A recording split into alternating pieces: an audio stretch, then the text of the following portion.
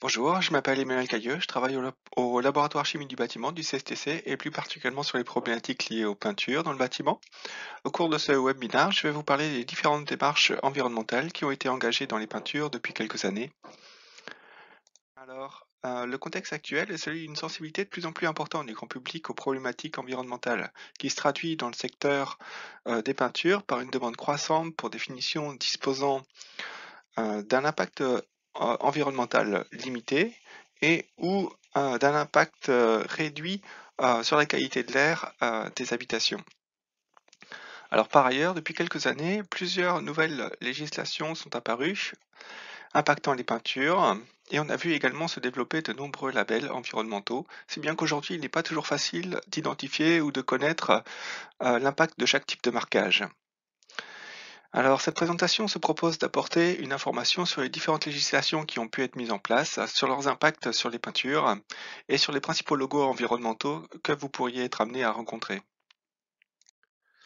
Alors, d'une façon schématique, la réduction de l'impact environnemental d'un produit vise à réduire l'importance de certains facteurs pouvant impacter l'environnement, tels que l'utilisation euh, de produits euh, polluants, la consommation d'énergie, la consommation d'eau, la production de déchets, etc sur les différentes étapes du cycle de vie qui sont par exemple euh, l'extraction des matières premières, la production, le transport, l'application, l'utilisation ou encore la fin de vie.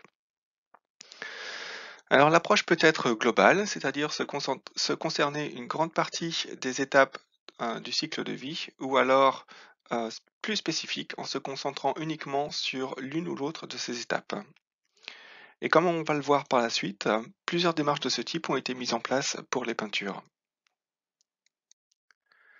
Alors concernant plus spécifiquement la qualité de l'air, on sait aujourd'hui que les peintures peuvent émettre des composés chimiques, appelés aussi composés organiques volatiles, durant euh, euh, leur application et aussi leur séchage, et parfois longtemps après leur application et que ces composés organiques volatiles peuvent avoir un impact plus ou moins important sur la santé des personnes, en fonction du type de particules émises et des concentrations.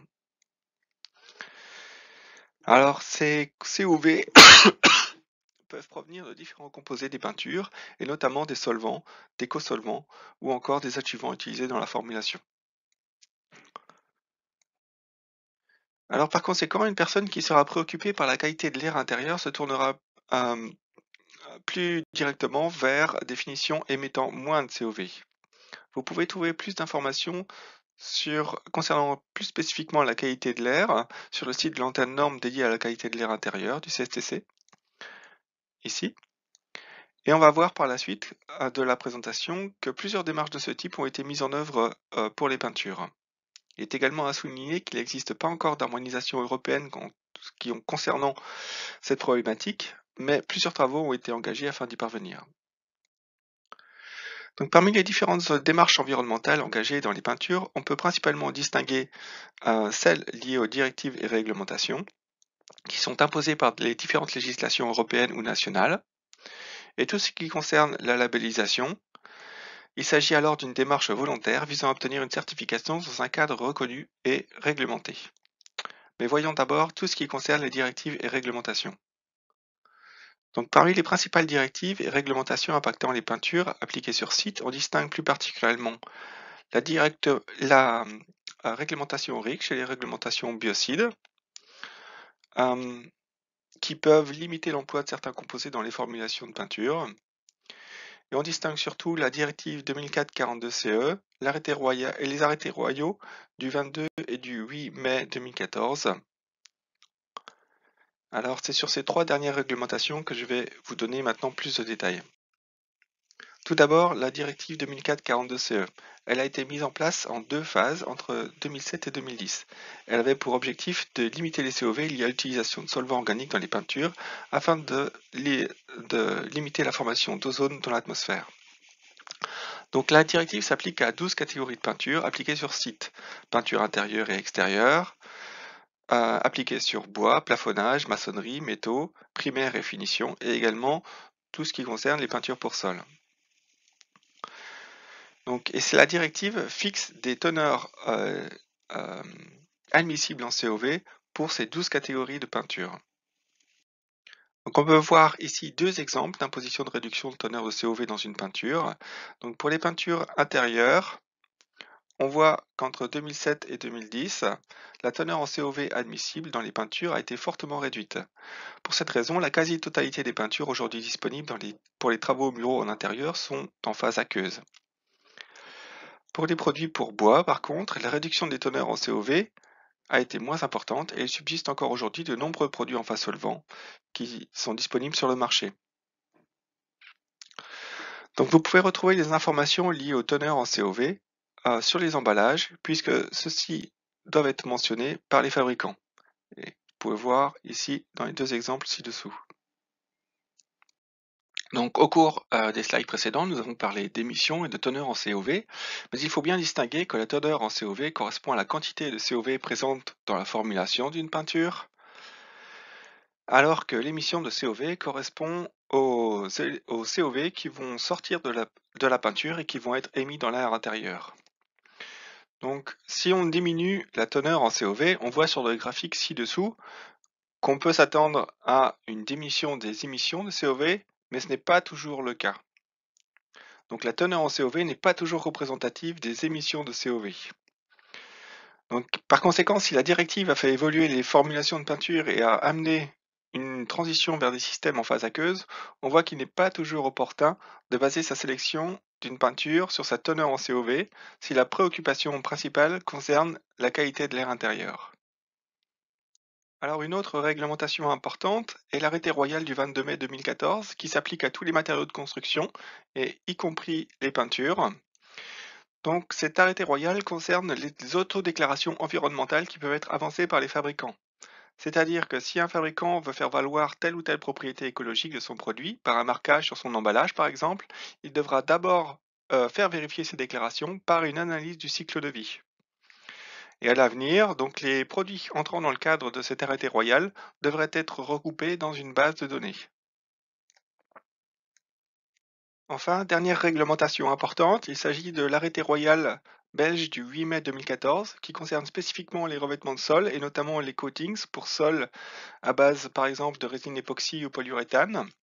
Donc cet arrêté royal impose des critères contraignants d'émission de COV aux fabricants et ceux-ci doivent se conformer à l'arrêté royal euh, depuis le 1er janvier 2015. Voyons maintenant les démarches associées aux labels environnementaux. Alors les labels ne sont pas des normes, ils s'appuient sur un cahier de charges dont certaines parties peuvent faire appel à des normes. Il existe de nombreux labels, on distingue les labels publics, gérés par les agences gouvernementales, et les labels privés, gérés par les organisations indépendantes. Alors en Belgique, il n'existe pas de label gouvernemental spécifique, c'est l'écolabel européen reconnaissable à la fleur qui fait office de label officiel. Donc je vais vous présenter maintenant quelques-uns de ces labels parmi les plus connus et euh, que vous êtes susceptible de rencontrer. Alors, le premier d'entre eux est l'écolabel européen. C'est un marquage volontaire valable dans toute l'Union européenne. Il s'applique à de nombreux produits, dont les peintures. Et les finitions les plus particulièrement concernées sont les peintures euh, décoratives, type vernis, lasure, et y compris les peintures pour sol, pour des applications en intérieur et en extérieur sur différents types de supports, type minéral, bois ou encore métal. Alors l'écolabel propose une approche globale avec des critères environnementaux liés à la production des matières premières, des restrictions sur les composés chimiques pouvant être présents dans la formulation des peintures et également des seuils en COV.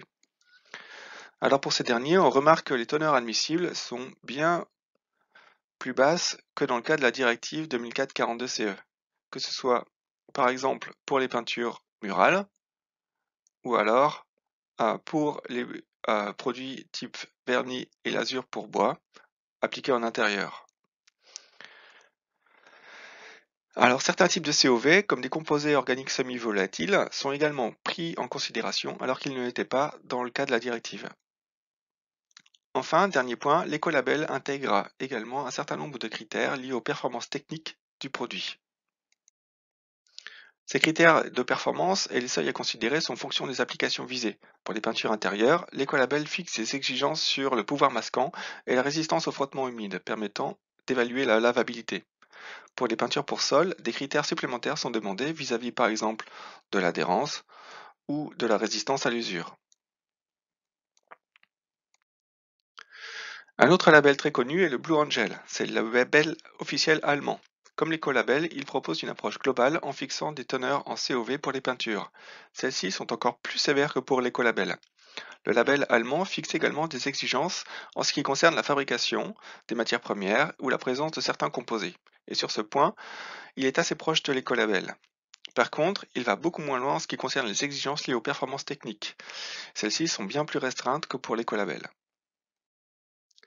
Dernier label que vous pouvez être amené à rencontrer, c'est le Nature Plus. Donc il s'agit d'un label privé proposant des critères environnementaux les plus sévères, avec par exemple des exigences sur les COV à la fois sur les teneurs présentes dans les peintures, mais aussi sur les émissions à 3 et à 28 jours.